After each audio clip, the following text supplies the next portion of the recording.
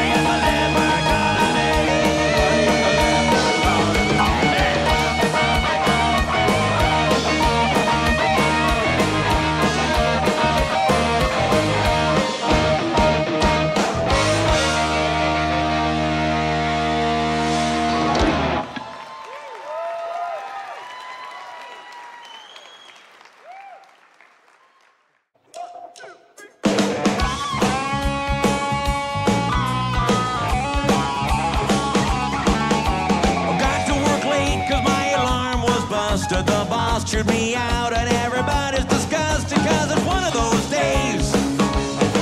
It's just one of those days. I lost one of my socks in the dryer. I can't find my wallet, and my hair is on fire. Just one of those days.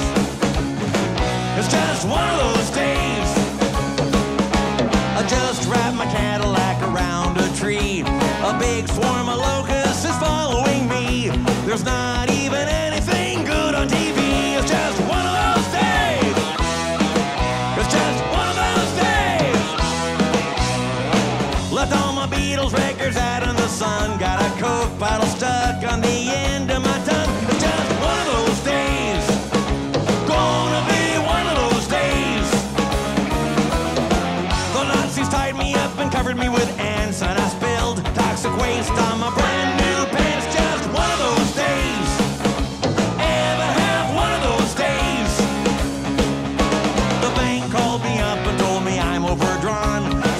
are burning crime.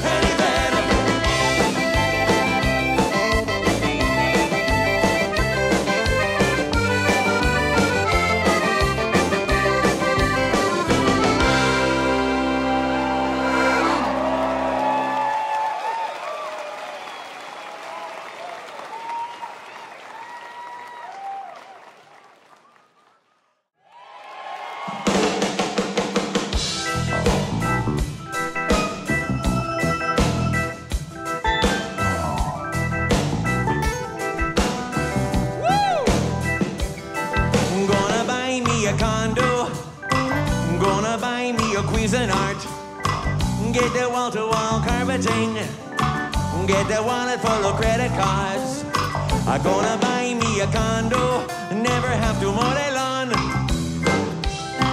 Gonna get me the t-shirt with the alligator on. I used to live in Jamaica, but I don't live there no more. I had to change me lifestyle, do things I never done before. So now I'm just a lonely Rastaman living in this American town. Gonna sell me Bob Marley records, gonna get me some Jackson Browne.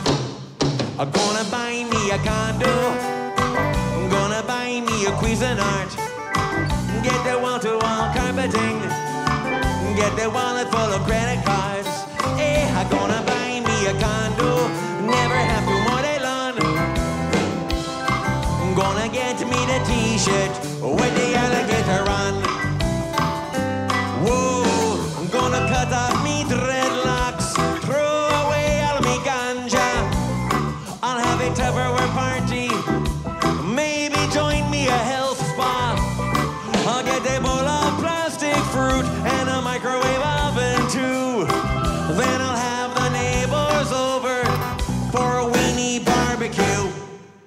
Gonna buy me a condo. Gonna buy me a Cuisinart. Get the wall-to-wall carpeting. And get the wallet full of credit cards. Whoa, I'm gonna buy me a condo. Never have to mow the lawn. I'll get the funny little t-shirt with the alligator on. Ain't gonna work in the field no more. Gonna be Amway distributor. Ain't gonna work in the field no more, no, no. Gonna be Amway distributor. Ja, ja, ja. Life is so very hard. I need a ja, ja, ja. Jacuzzi in me backyard. Oh, I'm gonna buy me a condo. Gonna buy me a Cuisinart. Get the wall-to-wall carpeting. Get the wallet full of credit cards. A condo. Never have to mow the lawn. I get the t-shirt with the alligator on.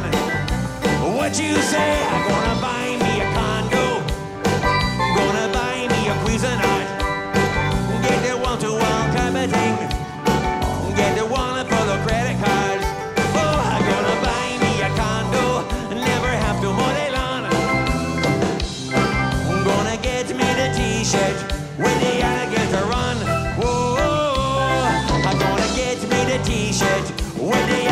alligator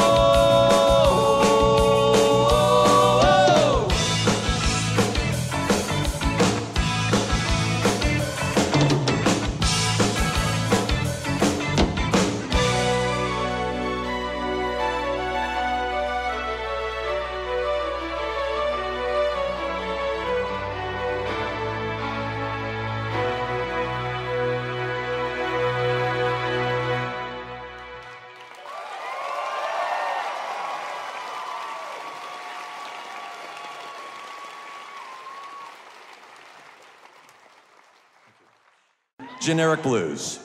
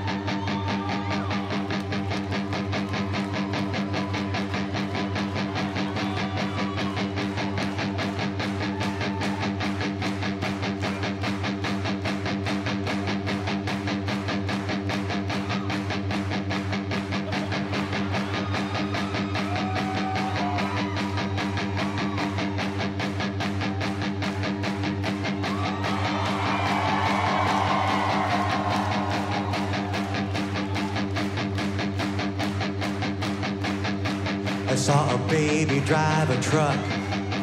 I saw a junkie eat a tuba.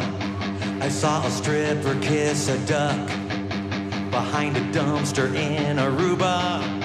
I saw this van.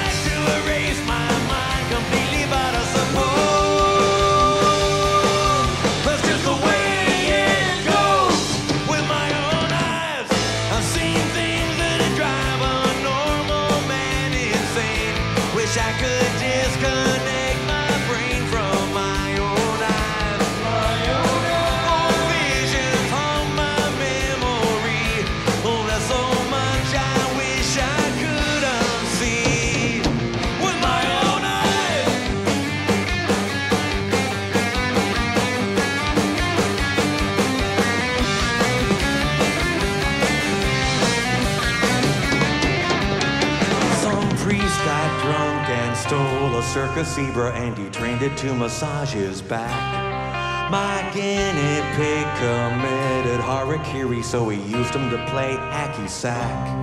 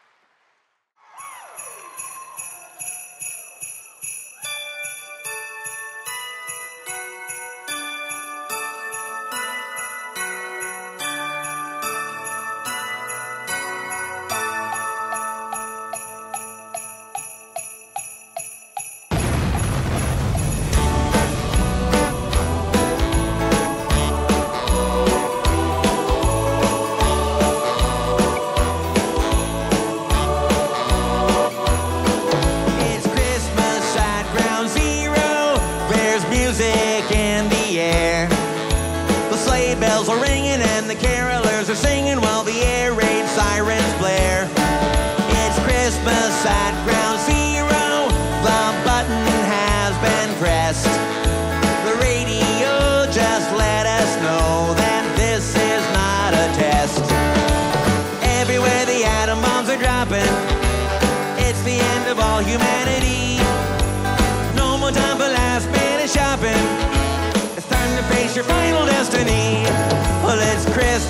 at ground zero.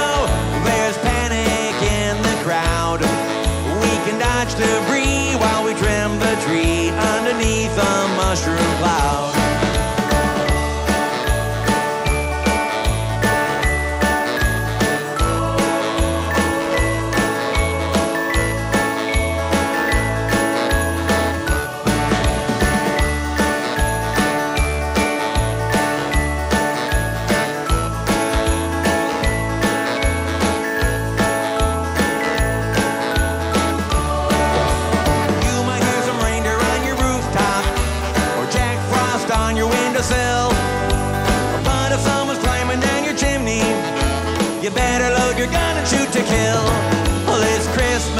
I'd rather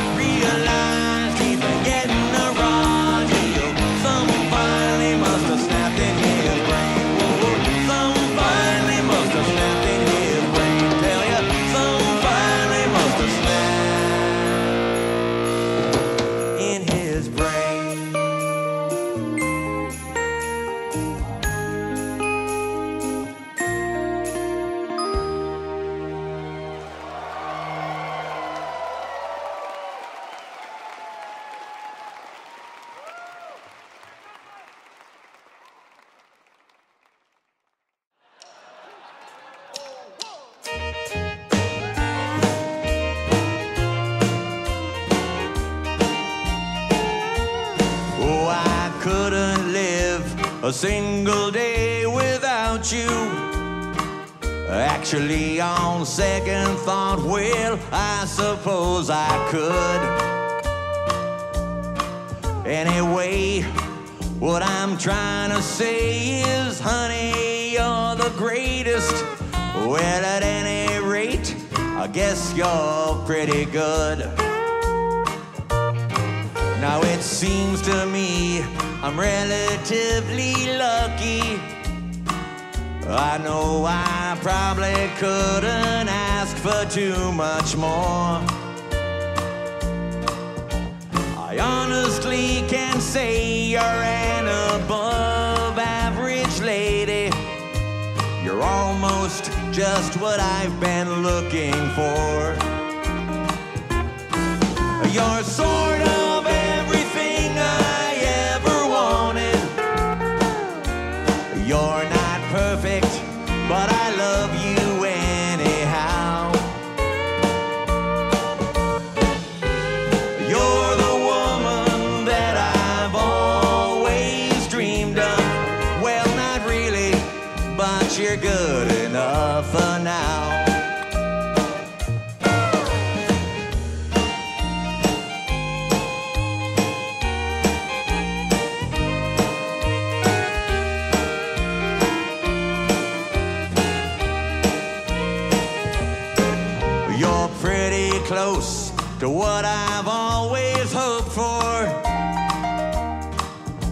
That's why my love for you is fairly strong. And I swear I'm never gonna leave you, darling. At least till something better comes along.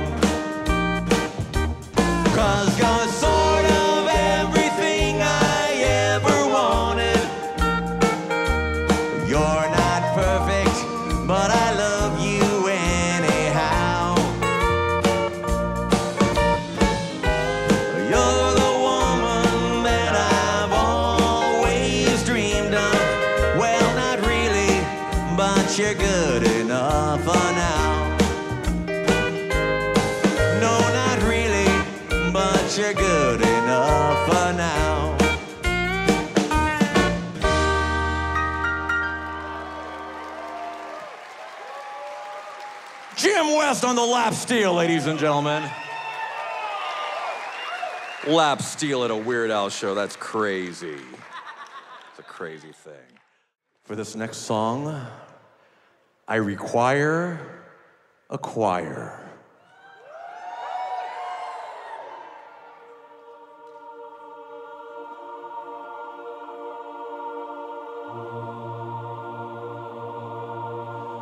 When I said that I'd be faithful, when I promised I'd be true, when I swore that I could never be with anyone but you, when I told you that I loved you with those tender words I spoke, I was only kidding.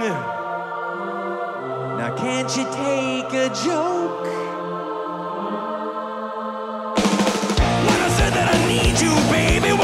That I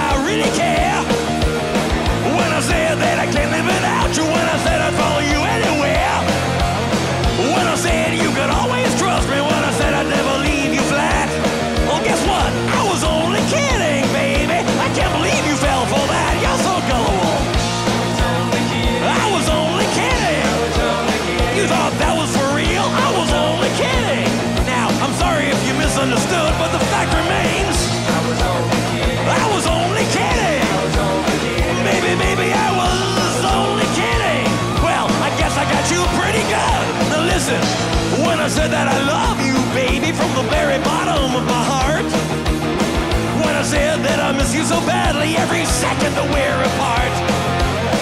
When I saw that you're just getting more and more beautiful every day. Well, I was only kidding, honey. What's the matter with you anyway? Let me tell you something. I was only kidding. You understand, don't you? I was only kidding. Well, I guess I probably hurt you a lot, but you gotta know.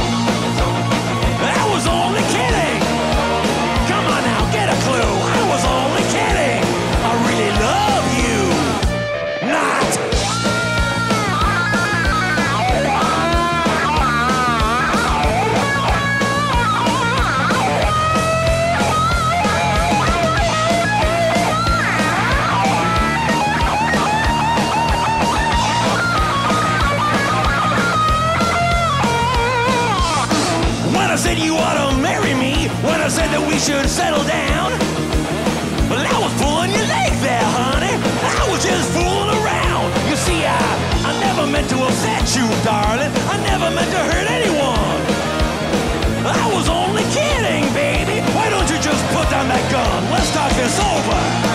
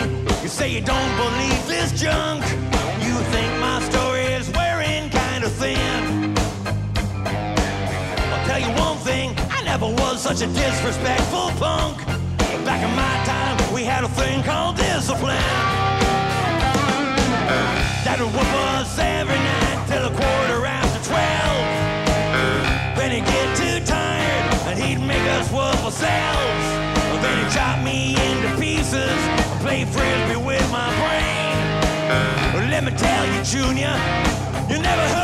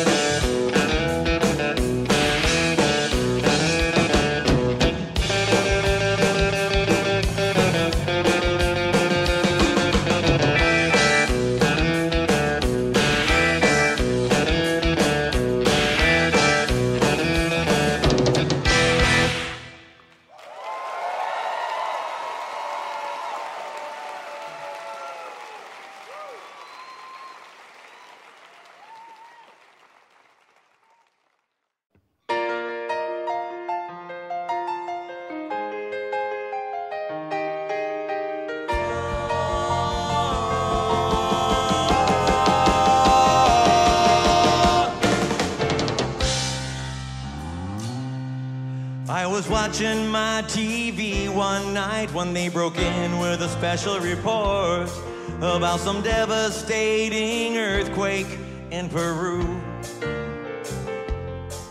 There were 30,000 crushed to death, even more were buried alive.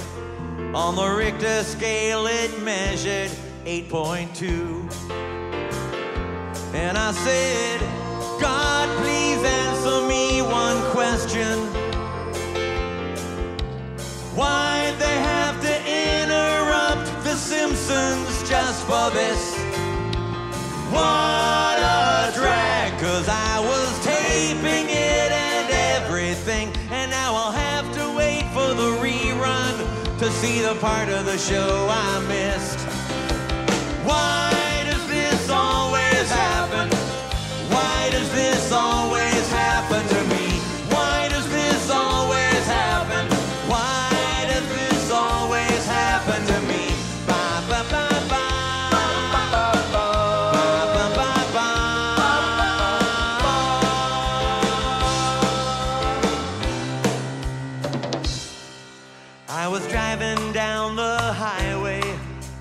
traffic slowed to a crawl. There was a 12 car pileup, everybody dead. And I saw brains and guts and vital organs splattered everywhere. As well as my friend Robert's disembodied head. Disembodied head. And I thought, poor Rob, I just had lunch with him. Hey, wait a minute, he still owes me money. What a jerk. Well,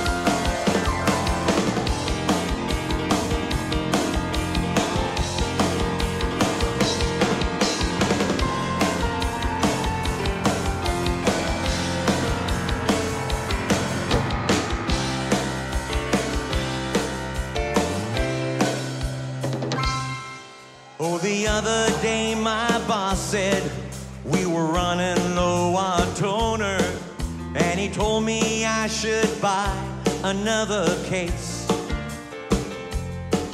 Well, I told him I was busy, but he still just kept on asking. So I turned around and stabbed him in the face. Right in the face. Oh, and wouldn't you know it, my knife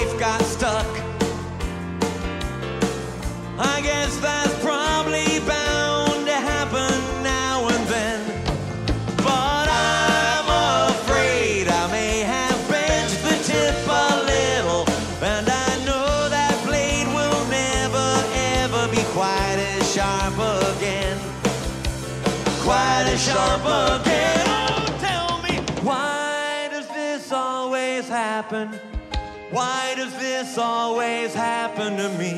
Why does this always happen? Why does this always happen to me? Why does this always happen to me?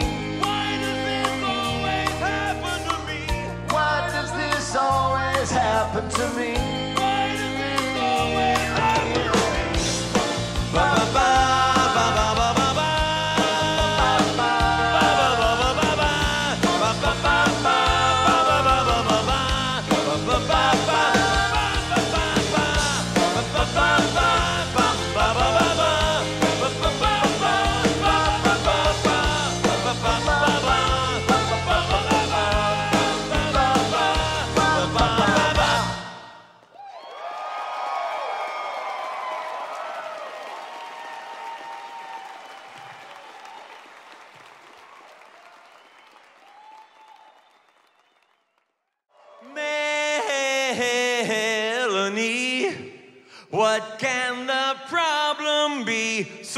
Melanie, why won't you go out with me?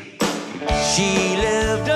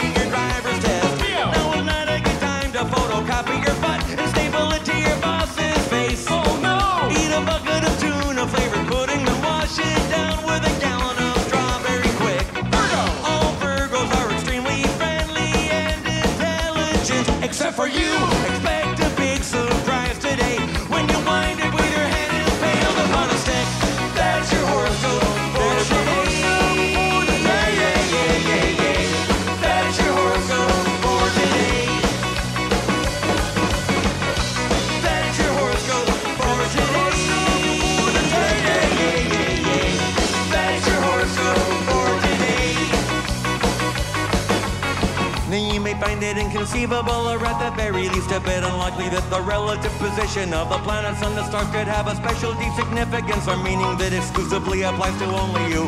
Give you my assurance that these forecasts and predictions are all based on solid scientific documented evidence. So you would have to be some kind of moron not to realize that every single one of them is absolutely true. A big promotion is just around the corner for someone much more talented than you.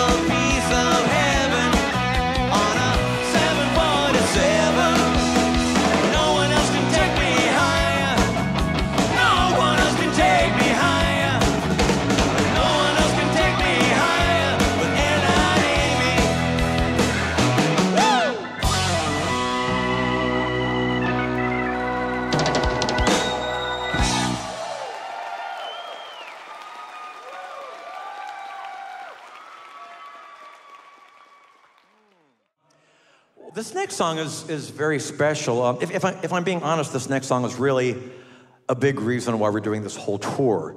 Uh, this tour, among other things, is meant to kind of cast a spotlight on, on some original songs I've done, which kind of fell between the cracks or didn't maybe get uh, the attention that I kind of thought they deserved. And I wrote this next song in the late 80s, and honestly, I thought it was maybe my best work, po- possibly, you know, at, certainly at the time, maybe the best thing I'd ever done. Maybe not the funniest song I'd written, but I, I thought that, you know, it, it, uh, it, it was, had something to say. It was clever. It was, um, you know, had some provo- provocative subtext. Um, had some trenchant things to say about love and modern relationships. And I, I kind of felt like the critics at the time didn't get it, and the fans largely ignored it. And, um, you know, I, I was, I was kind of devastated because, you know, I figured if they don't, if they don't appreciate this, what's the use? Um, but, you know, I, I moved on, of course. And, uh, but I'm, I'm hoping now with 30 years of retrospection, uh, maybe people will see the song in a new light, maybe um, kind of see what I was trying to say with this. And uh, I hope that, that song will resonate with you- and uh, maybe even give you a, a different perspective on your own relationship. So um, we, we hope you enjoy it.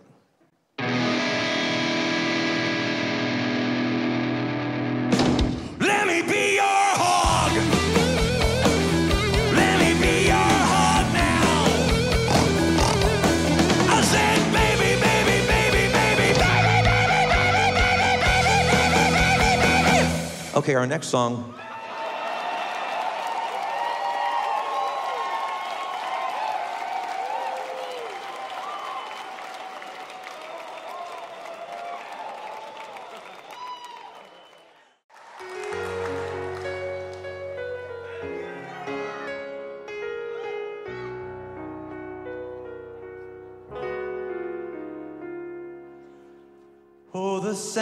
Keeps falling through the hourglass, and there's no way you're gonna slow it down.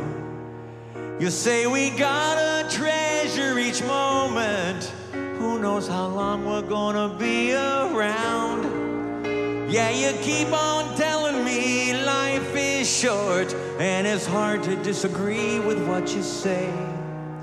But if time is so precious, why you wasting mine? Cause I'm always reading, always deleting every useless piece of garbage that you send my way.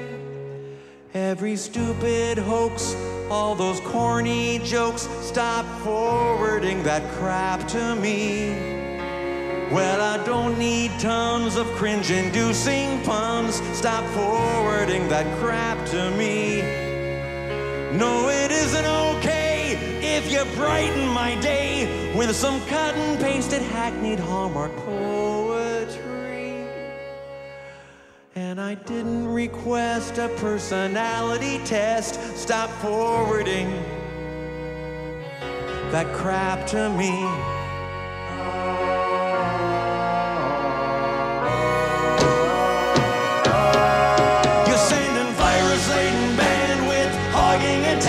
Attachments to every single person you know. You're passing around a link to some dumb thing on YouTube that everybody else already saw three years ago. And wacky, badly photoshopped billboards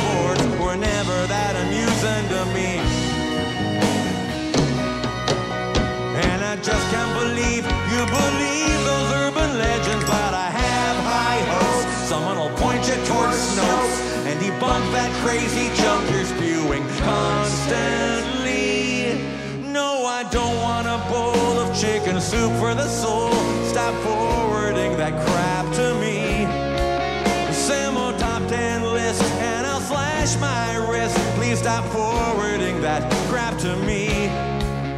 Well, I'm sorry I can't accept your paranoid rant, and I don't want the Neiman Marcus cookie recipe. You kindly refrain, cause it's hurting my brain. Stop forwarding that crap to me.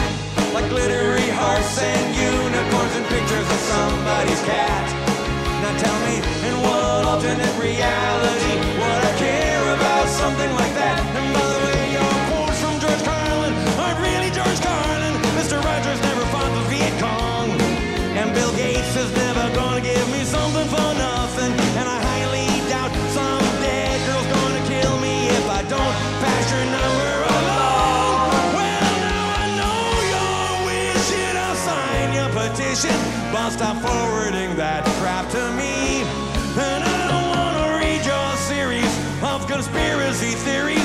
Stop forwarding that crap to me. And your two million loser friends all have my address now. Cause you never figured out the way to BCC. Now I gotta insist. Take me off of your list. Stop forwarding that crap to me. Stop forwarding that crap to me. Stop forwarding that crap to me. Stop forwarding that crap to me. Stop forwarding that crap to me. Just stop it now. Stop forwarding that crap to me. Oh no. Stop forwarding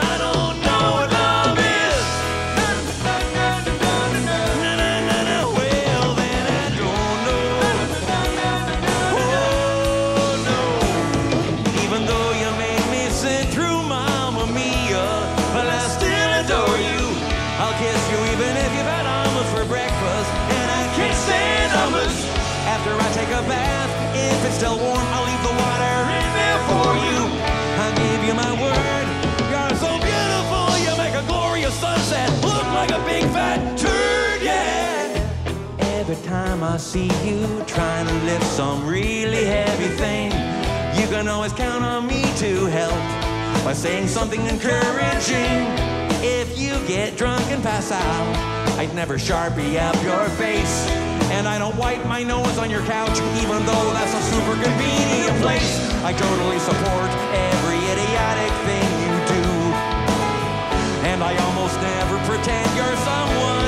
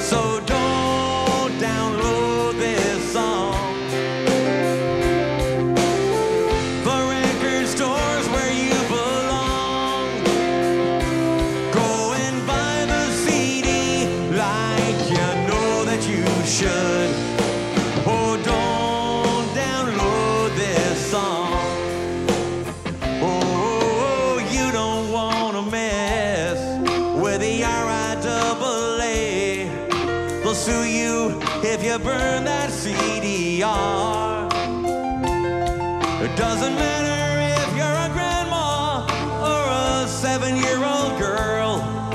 They'll treat you like the evil, hard bitten criminal scum you are.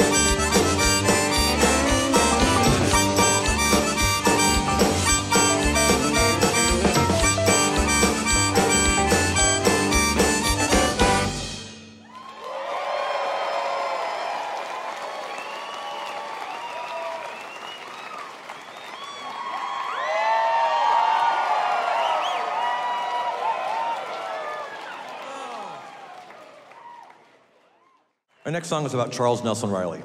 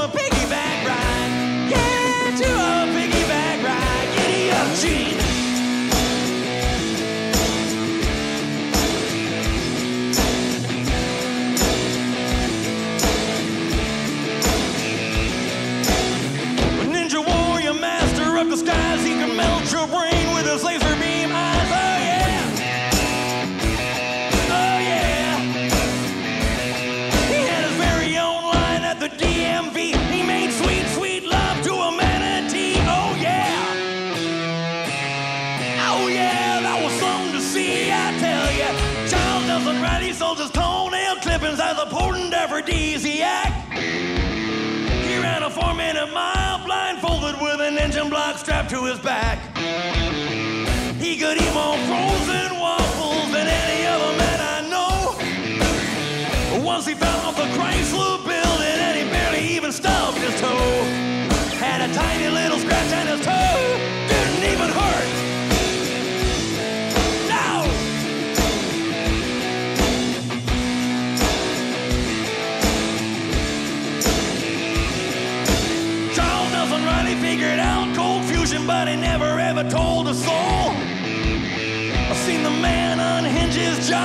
and swallow a Volkswagen whole. You bash your face in with a shovel if you didn't treat him like a star. Cause you can spin the wind attacking Superman's cape, but I know you just don't man.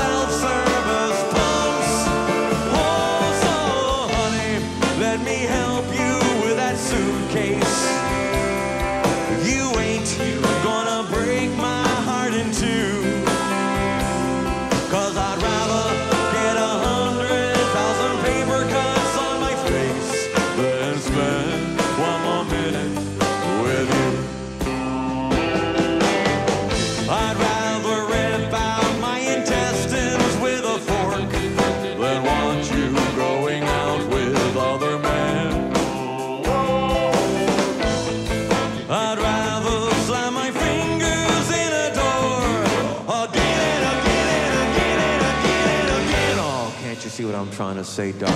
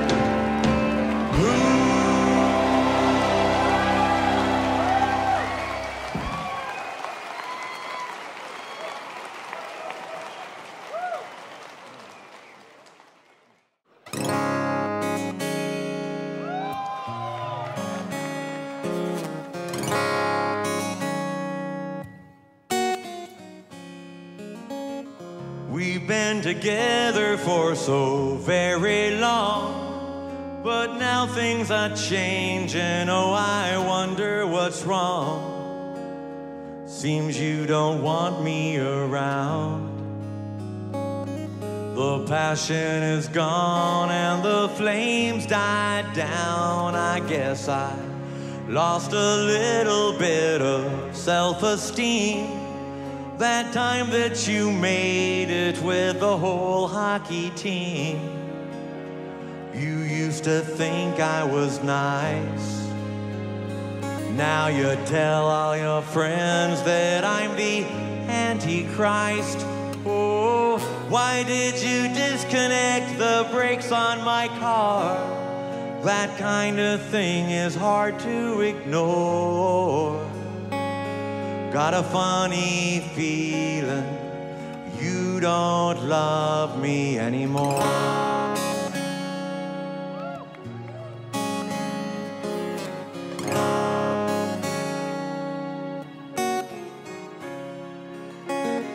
I knew that we were having problems when you put those piranhas in my bathtub again.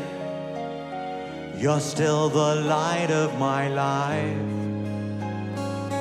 Oh, darling, I'm begging, won't you put down that knife? You know, I even think it's kinda cute the way poison my coffee just a little each day. I still remember the way that you laughed. When you pushed me down the elevator shaft. Oh, if you don't mind me asking, what's this poisonous cobra? Okay, wait, I, I, I, feel, I feel like I should stop here and address this. Um, over the years, a lot of people have said to me, poisonous cobra? Are you sure you don't mean venomous cobra?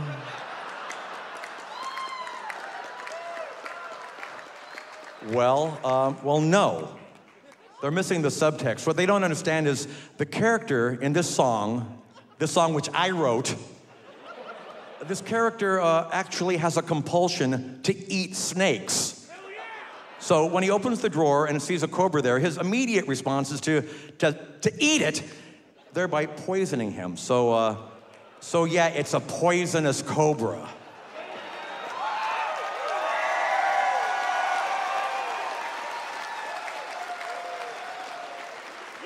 You don't know what's in my head. Doing in my underwear drawer. Sometimes I get to thinking you don't love me anymore.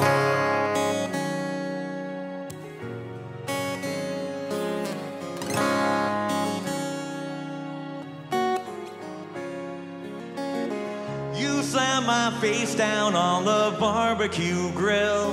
Now my scars are all healing, but my heart never will. You set my house on fire. You pulled out my chest hairs with an old pair of pliers. Oh, you think I'm ugly and you say I'm cheap. You shaved off my eyebrows while I was asleep. You drilled a hole in my head. Then you dumped me in a drainage ditch and left me for dead. Oh, you know this really isn't like you at all. You never acted this way before. Honey, something tells me you don't love me anymore. Oh, no. Got a funny feeling you don't love me anymore.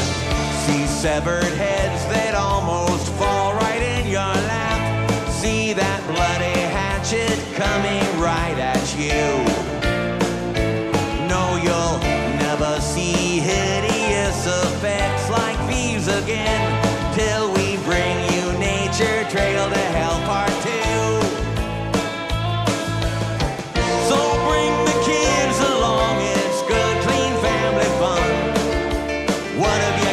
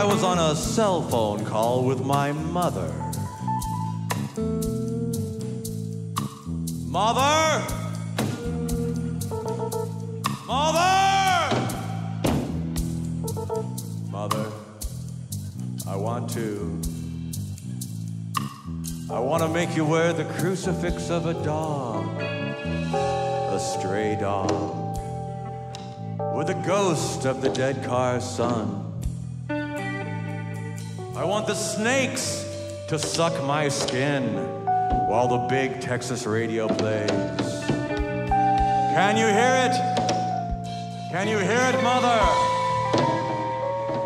When I close my eyes, I can see myself riding through the desert in a convertible filled with eggshells. Look over there by the Chevron station. There's an old American Indian standing by the side of the road. He's holding an alligator. The alligator's name is Quacky McKnucklehead. Come here, Quacky. Come here, boy. Come here, little fella. I think he wants to be my friend. There's freedom in the air. Oh, yeah. Yeah. I can smell it. I can taste it. It tastes like stale Fritos. Stop the car, I'm getting out!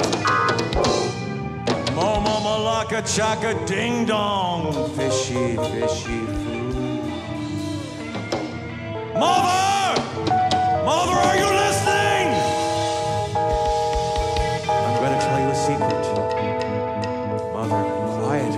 Mother. I'm gonna tell you a secret. Quiet. Shh. Mother, I'm the one who pulled the tags off the mattresses. I've been a bad little boy, Mother. What are you gonna do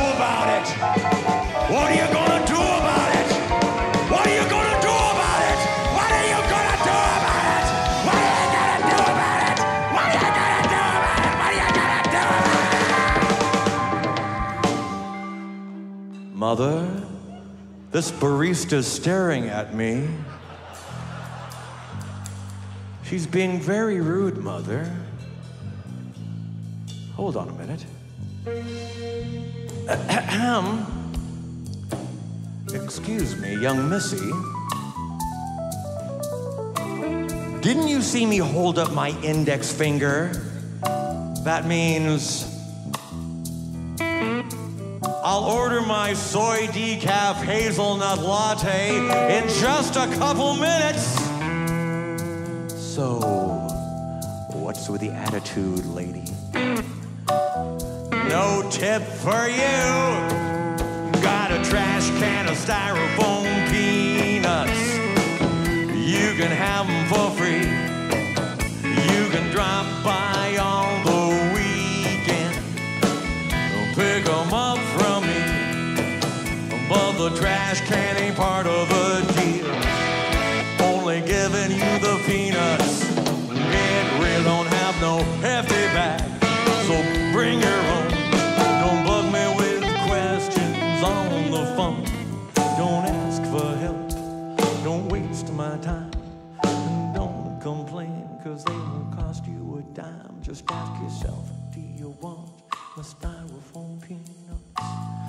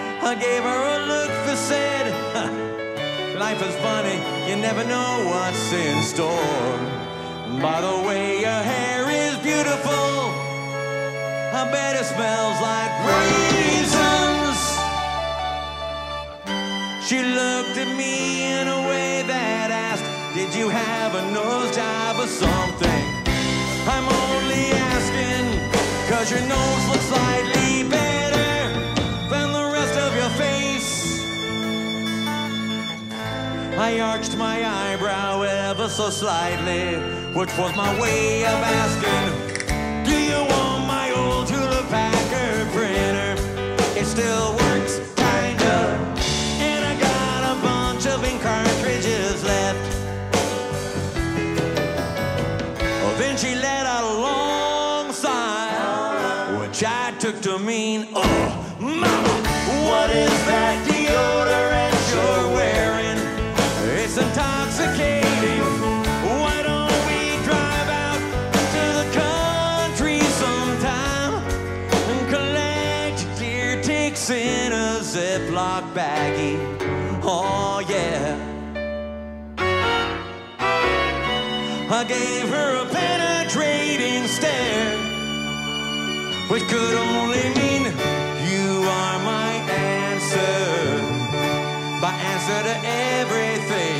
is why.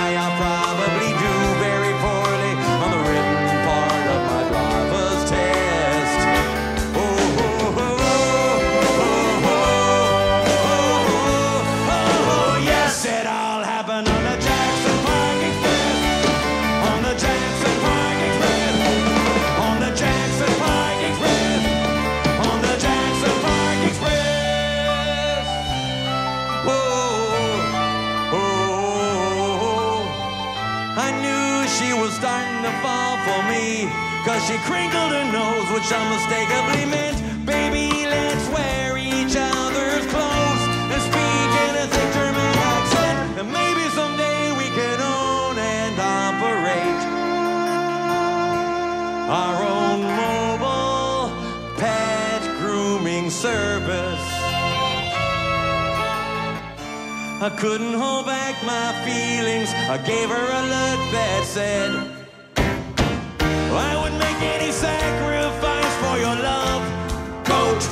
thinking whatever. I can never hold you close enough. Let's have our bodies surgically grafted together. Oh, surgically grafted together.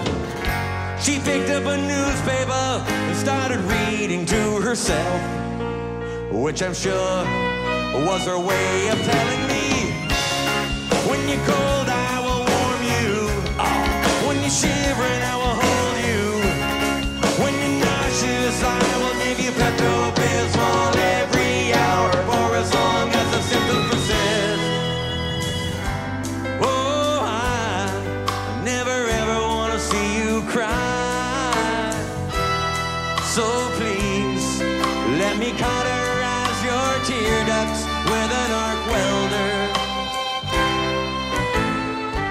And I glanced down at her shirt for a second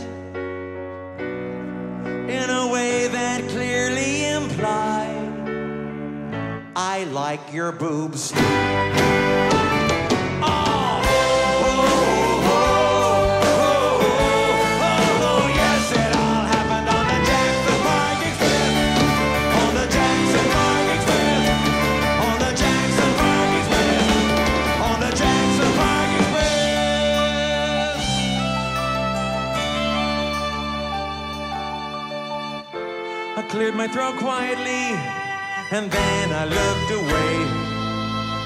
Sure it was obvious to her just what I was trying to say. I was trying to say, hey, I'd like to make a wall-sized mural out of all the dead skin cells that you slough off while you sleep at night. Whoa, I'd like to rip you wide open. Oh and French kiss every single one of your internal organs. Oh, like to remove all your skin and wear your skin over my own skin, but not in a creepy way. Well, then I'm pretty sure she looked at me out of the corner of her good eye. And though she never spoke a word, this is exactly what I heard. Uh, she was saying, Oh, I wanna make out with you in an in the middle of a monsoon. I wanna ride dolphins with you in the moonlight until the kicks us out. I want you inside me. Oh, like a tapeworm. I pointed to the side of my mouth as a way of indicating, hey, I think you got something on the side of your mouth. She licked the corner of her lips as if to say, here. I nodded, implying, yeah, you got it. And then the bus stopped at 53rd Street and she got up suddenly. Where are you going? Pleaded my eyes, baby, don't you do this to me. Think of the beautiful children we could have someday. We could school them at home, raise them up the right way, and protect them from the evils of the world, like trigonometry and prime numbers. Oh no, baby, please don't go. She brushed my leg as she left the bus. I'm sure that was her way of saying, I'm sorry, this just isn't working out. You're suffocating me. I need some space to find out what life's all about. So goodbye forever, my love. And deep inside, I knew she was right. It was time for us both to move on.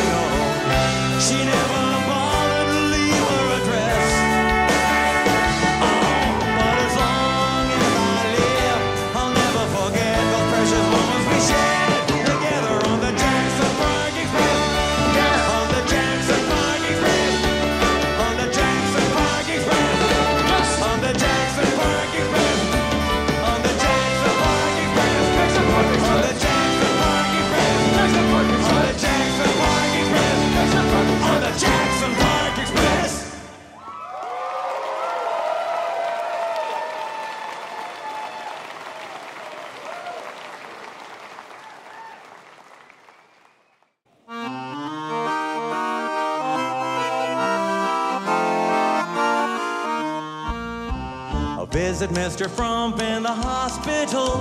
I see him most every day. And when I see Mr. Frump in his iron lung, this is what I hear him say.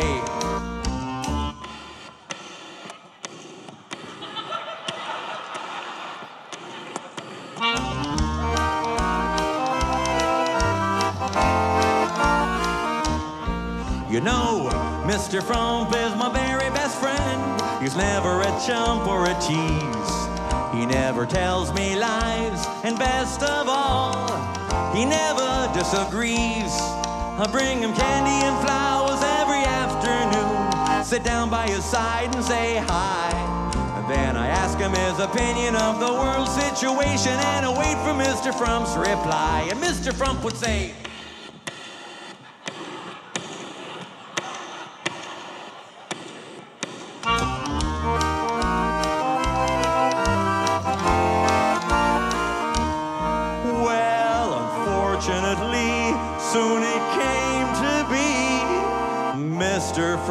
dying day. So now I bring to you the very last thing that Mr. Frump had to say.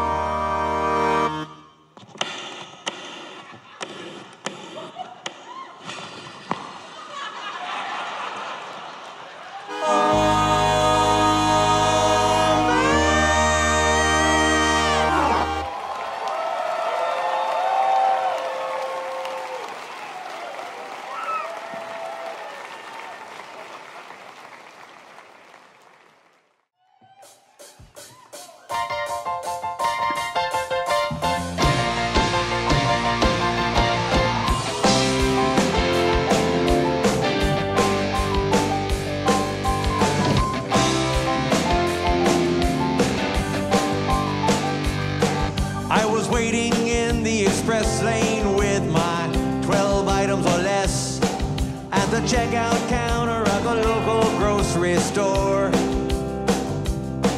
I was only passing by, but a paper caught my eye, and I learned a few things I never knew before.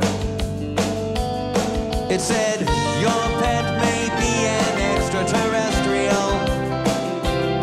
It said the ghost of Elvis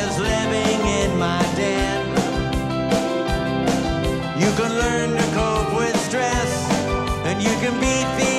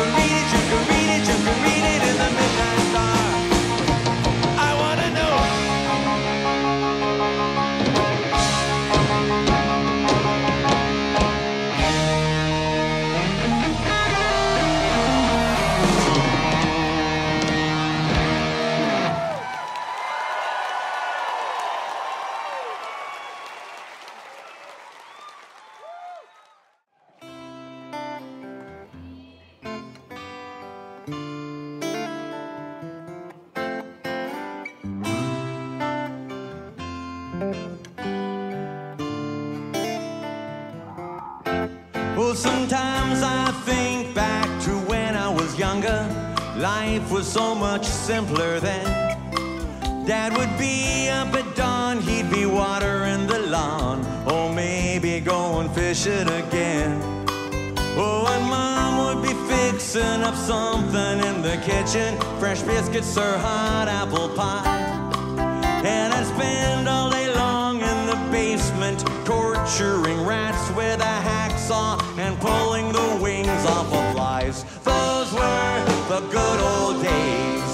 Those were the good old days. The years go by, but the memory stays.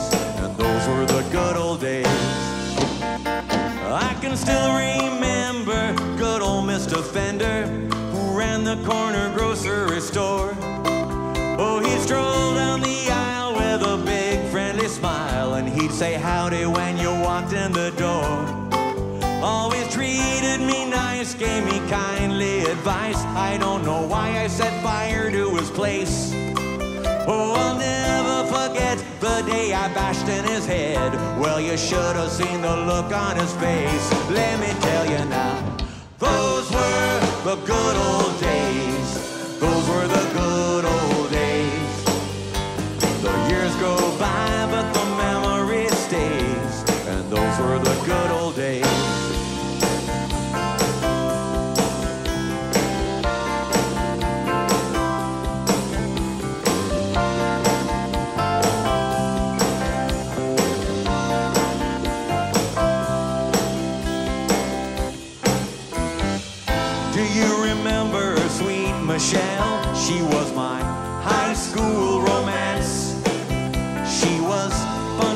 To and nice to smell.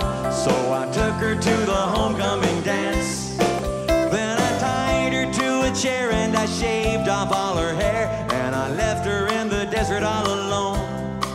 Well, sometimes in my dreams I can still hear the screams. Oh, I wonder if she ever made it home. I tell you, those were the good old days. Those were the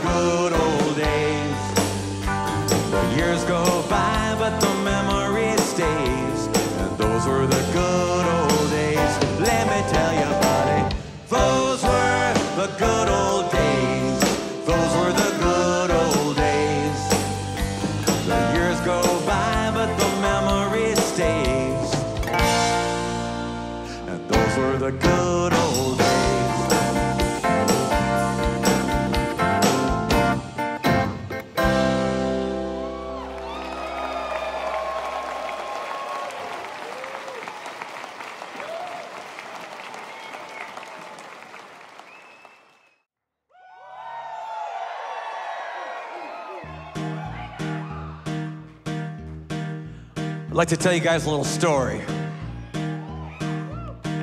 Well, maybe, maybe not so much a story as an anecdote.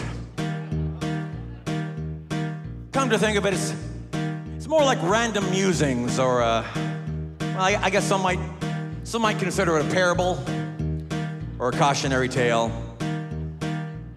No, I was right the first time. It's a story about the biggest ball of twine in Minnesota. Well, I had two weeks of vacation time coming after working all year down at Big Roy's Heating and Plumbing.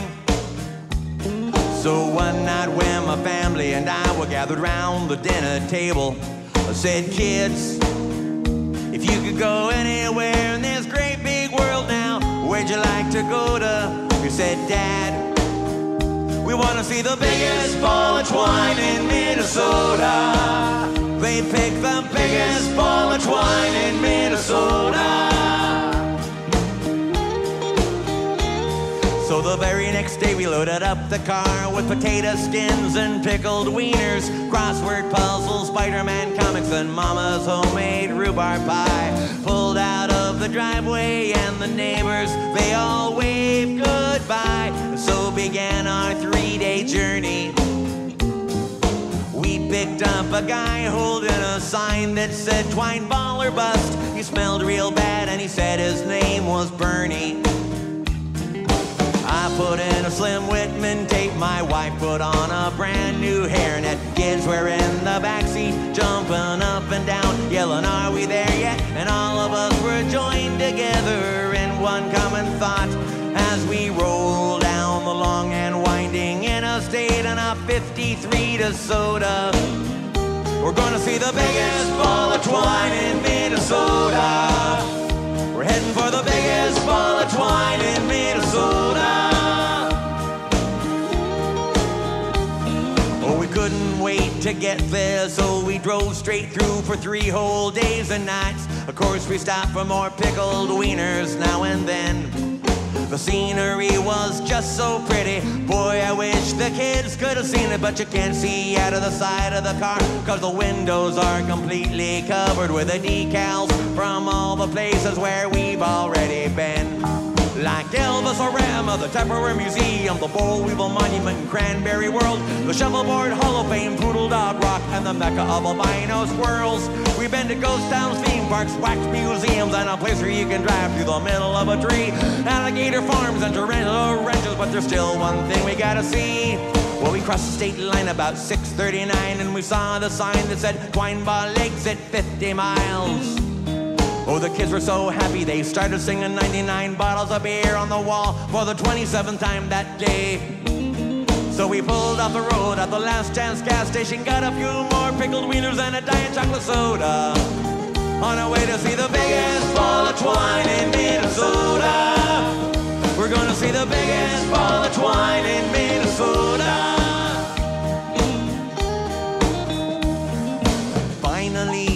7:37 early Wednesday evening, as the sun was setting in the Minnesota sky. Out in the distance, on the horizon, it appeared to me like a vision before my unbelieving eyes. We parked the car and walked with all filled reverence toward that glorious, huge, majestic sphere. I was just so overwhelmed by its sheer immensity. I had to pop myself a beer. Yes, on these hallowed grounds, open 10 to 8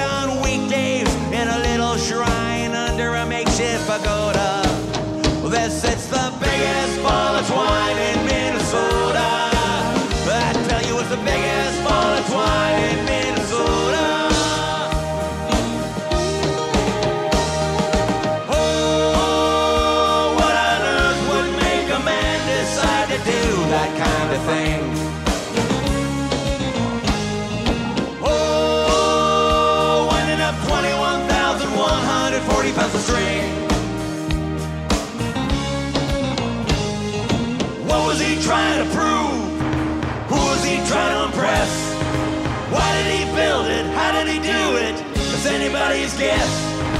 Where did he get the twine? What was going through his mind? Did it just seem like a good idea at the time? Well, we walked up beside it and I warned the kids, now you better not touch it, those ropes are there for a reason. I said, maybe if you're good, I'll tie it to the back of our car and we can take it home, but I was only teasing. Then we went to the gift shop and stood in line. Bought a souvenir miniature ball of twine, some winter decals, and anything else they'd sell us. And I bought a couple postcards. Greetings from the Twine Ball. Wish you were here. Won't the folks back home be jealous? I gave her camera to Bernie and we stood by the ball and we all gathered around and said cheese. Then Bernie ran away with my brand new Instamatic, but at least we got our memories. So we all just stared at the ball for a while and my eyes got moist, but I said with a smile, kids, this here's what America's all about. Then I started feeling kind of gooey inside, and I fell on my knees and I cried and cried, and that's when those security guards threw us out. You know, I bet if we unravel that sucker, it'd roll all the way down to Fargo, North Dakota.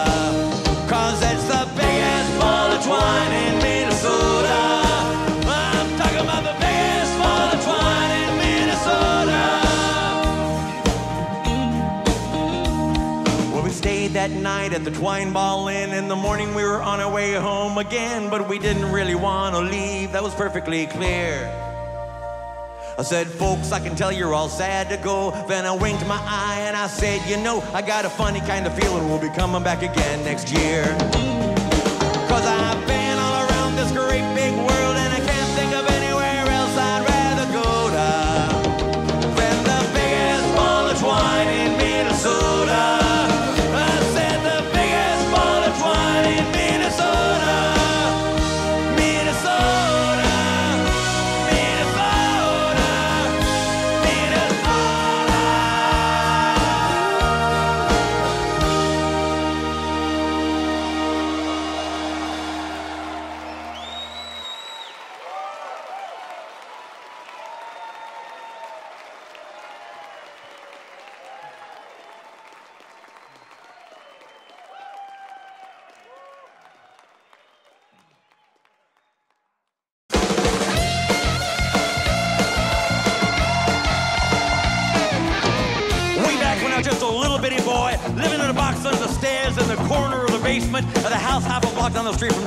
shop. You know the place. Well, anyway, back then life was going swell and everything was just peachy. Except, of course, for the undeniable fact that every single morning, my mother would make me a big old bowl of sauerkraut for breakfast. Down, big bowl sauerkraut! Every single morning. It was driving me crazy. I said to my mom, I said, hey, mom, what's up with all the sauerkraut? And my dear sweet mother, she just looked at me like a cow looks at an oncoming train. Right down next to me. And she said, It's good for you! And then she tied me to the wall and stuck a funnel in my mouth and force fed me nothing but sauerkraut until I was 26 and a half years old. That's when I swore that someday, someday I would get out of that basement and travel to a magical, faraway place where the sun is always shining, and the air smells like warm root beer, and the towels are oh so fluffy. The Shriners and the lepers play their ukuleles all day long, and anyone on the street will gladly shave your back for a nickel. Waka waka doo doo, yeah. Well, let me tell you, people, it wasn't long at all before my dream came true.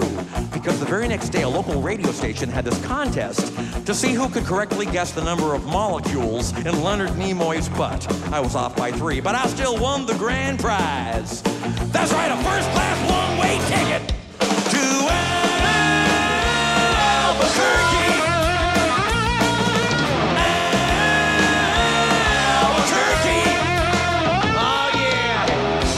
been on a real airplane before. And where are you going? Sit down. Sit down. Doing a song here. I've never been on a real airplane before, and I gotta tell you, it was really great. Except that I had to sit between two large Albanian women with excruciatingly severe body odor. And the little kid in the back of me kept throwing up the whole time. And the flight attendants ran out of Dr. Pepper and salted peanuts. And the in-flight movie was Biodome with Polly Shore. And, uh, oh yeah, three of the airplane engines burned out. And we went to a tailspin and crashed into a hillside. And the plane exploded in a giant fireball. And everybody died. Except for me. You know why? Cause I had my tray table up. And my seat back in the full up. Right position. Had my tray back in the full upright position. And my tray table up. And my seat back in the full upright position.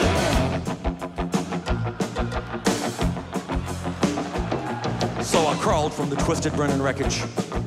I crawled on my hands and knees for three full days. Dragging along my big leather suitcase and my garment bag and my tenor saxophone and my 12 pound bowling ball and my lucky, lucky autograph glow in the dark snorkel. Finally I arrived at the world famous Albuquerque Holiday Inn where the towels are oh so fluffy. And you can eat your soup right out of the ashtrays if you wanna.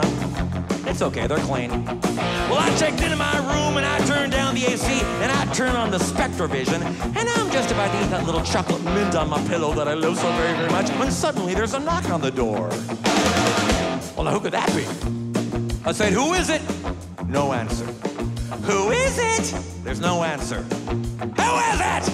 They're not saying anything. So finally I go over and I open the door and just as I suspected, it's some big fat hermaphrodite with a flock of seagulls haircut and only one nostril. Oh man, I hate it when I'm right. So anyway, he burst into my room and he grabbed my lucky snorkel. I'm like, hey, you can't have that. I snorkel's been just like a snorkel to me. And he's like, tough. And I'm like, give it. And he's like, make me. And I'm like, okay. So I grabbed his leg, and he grabbed my esophagus, and he bit off his ear, and I chewed off his eyebrows, and I took out his appendix, and he gave me a colonic irrigation. Yes, indeed, you better believe it. And somehow in the middle of it all, the phone got knocked off the hook. And 20 seconds later, I heard a familiar voice. And you know what it said? I'll tell you what it said.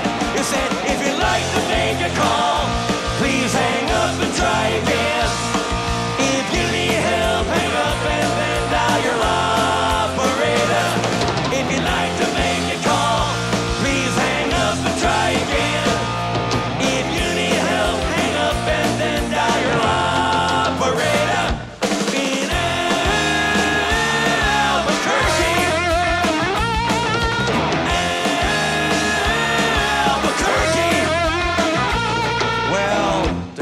Story short, he got away with my snorkel. But I made a solemn vow, a solemn vow, right then and there. I would not rest. I would not sleep for an instant until the one nostriled man was brought to justice. But first, I decided to buy some donuts. So I got in my car and I drove over to the donut shop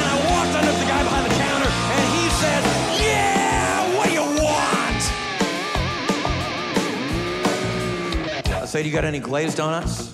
He said, Nah, we're out of glazed donuts. I said, You got any jelly donuts? He said, Nah, we're out of jelly donuts.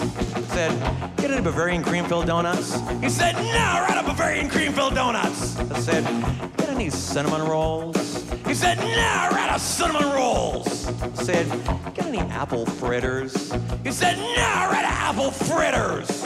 I said, any maple bars? He said, Nah, we're out of maple bars. Said, You got any French crullers? He said, Nah, we're out of French crullers. I said, You got any blueberry donuts? He said, Nah, we're out of blueberry donuts. I said, You got any strawberry donuts? He said, Nah, we're out of strawberry donuts. I said, You got any raspberry donuts? He said, Nah, we're out of raspberry donuts. I said, You got any boysenberry donuts? He said, Nah, we're out of boysenberry donuts. Said, You got any blackberry donuts? He said, we're out of blackberry donuts. I said, You got any cranberry donuts? He said, No, we're out of cranberry donuts. I said, You got any huckleberry donuts? He said, No, we're out of huckleberry donuts. I said, You got any elderberry donuts? He said, No, we're out of elderberry donuts. I said, You got any mulberry donuts? He said, No, we're out of mulberry donuts. I said, You got any gooseberry donuts? He said, No, we're out of gooseberry donuts. I said, You got any lingonberry donuts? He said, Nah, we're out of lingonberry donuts. I said, You got any loganberry donuts? He said, now we're out of loganberry donuts. I said, You got any goji berry donuts? He said, now we're out of goji berry donuts. I said, You got any Marionberry donuts? He said, now we're out of Marionberry donuts. I said, You got any Halle Berry donuts? He said, now we're out of Halle Berry donuts. I said, You got any bear claws? He said, Wait a minute, I'll go check.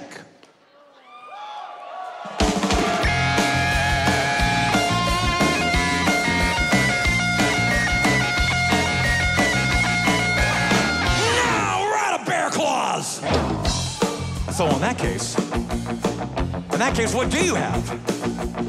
He says, all I got right now is this box of one dozen starving, crazed weasels.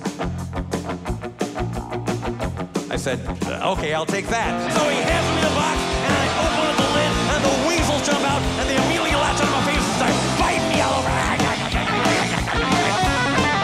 Oh, man. They were just going nuts. They were quite literally tearing me apart. You know, I think it was just about that time that a little ditty started going through my head. I believe it went a little something like this. I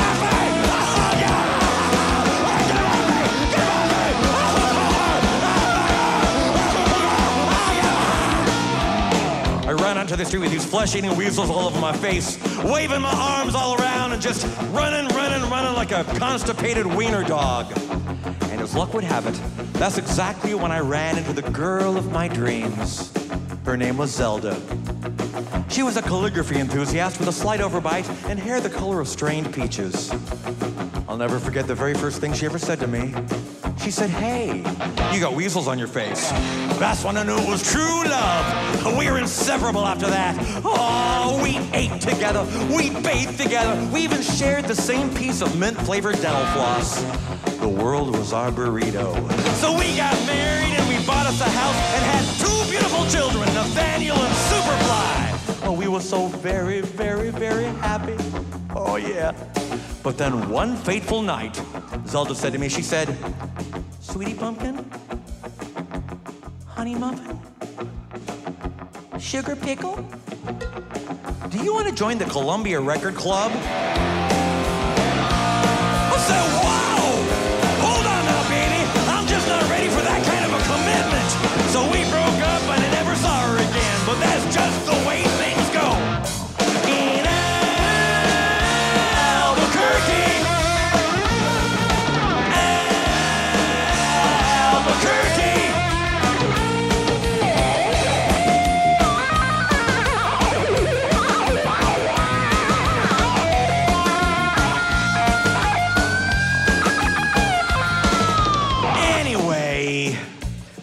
started looking up for me because about a week later, I finally achieved my lifelong dream. That's right, I got me a part time job with a Sizzler. I even made Employee of the Month after I put out that grease fire with my face. Everybody was pretty jealous of me after that. I was getting a lot of attitude. Okay, like one time, I was out in the parking lot trying to remove my excess earwax with a golf pencil when I see this guy Marty trying to carry a big old sofa up the stairs all by himself. So I say to him, I say, hey, you want me to help you with that? And Marty, he just rolls his eyes and goes, no, I want you to cut off my arms and legs with a chainsaw. So I did. And then he gets all indignant on me. He's like, hey man, I was just being sarcastic. Well, that's just great. How was I supposed to know that? I'm not a mind reader for crying out loud. Besides, now he's got a really cute nickname, Torso Boy. So what's he complaining about? Say, that reminds me of another amusing anecdote. This guy comes up to me on the street and he tells me, he tells me he hasn't had a bite in three days. Well, I know what he meant, but just to be funny, I took a big bite out of his jugular vein and he's yelling and screaming and bleeding all over. And I'm like, hey, come on, don't you get it? But he just keeps rolling around the sidewalk, bleeding and screaming.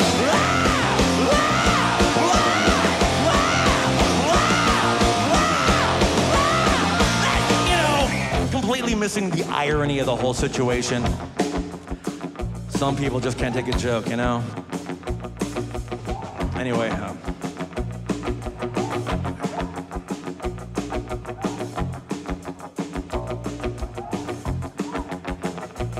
where was I? Kind of lost my train of thought. Oh man. Uh, I'm, I'm, sorry. There you go.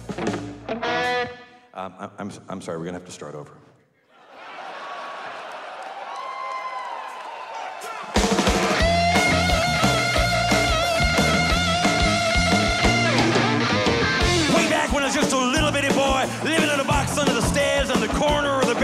At a house half a block down the street from Jerry's Bait Shop. You know the place. Well, anyway, back then, life was going swell and everything was just peachy. Except, of course, for the undeniable fact that every single morning, my mother would make me a big old bowl of sauerkraut for breakfast. Yeah, big bowl of sauerkraut! Every single morning, it was driving me crazy. I said to my mom, I said, hey, mom, what's up with all the sauerkraut? And my dear sweet mother, she just looked at me like a cow looks at an oncoming train. And she leaned right down next to me. And she said,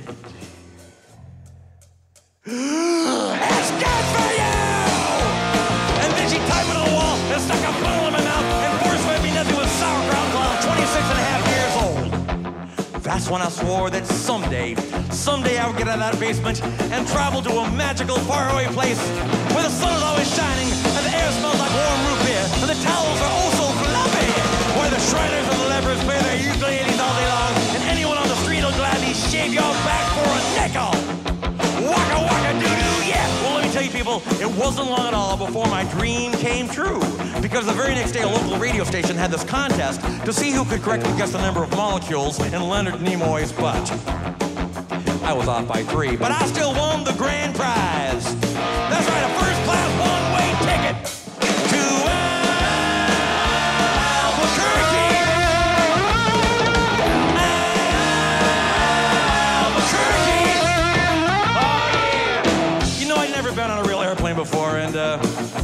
Tell you, it was really great. Except that I had to sit between two large Albanian women with excruciatingly severe body odor. And the little kid in back of me kept throwing up the whole time. And the flight attendants ran out of Dr. Pepper and salted peanuts. And the in-flight movie was Biodome with Pauly Shore. And, uh, oh yeah, three of the airplane engines burned out. And we went into a tailspin and crashed into a hillside. And the plane exploded in a giant fireball. And everybody died. Except for me. You know why?